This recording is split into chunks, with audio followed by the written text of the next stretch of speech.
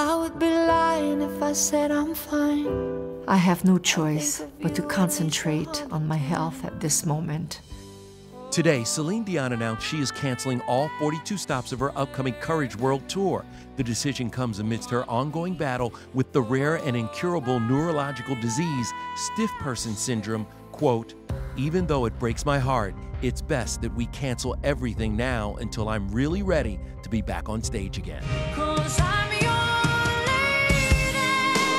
Celine first told fans about her health crisis last December in this emotional video. Stiff person syndrome, which affects something like one in a million people. This is what's been causing all of the spasms that I've been having. People can die from complications from the disease. It's serious. Many people require walkers, wheelchairs. Uh, some people are, are bedridden. They can have spasms so severe that they break bones. Celine has been keeping a very low profile since revealing the diagnosis. She hasn't been seen publicly since January of 2022. Her last personal photo was posted just over a year ago on Mother's Day while surrounded by her three sons. Yet last month, Celine did release her first single since 2019, and her voice sounds stronger than ever.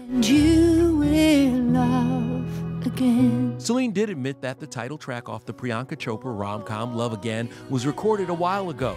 The 55 year old also makes her acting debut in the film. Miss Dion, do you really believe in all these things you sing? You obviously know nothing about it. But despite all the setbacks, Celine remains optimistic she will return to the stage. Quote, I'm working really hard to build back my strength. I want you all to know I'm not giving up.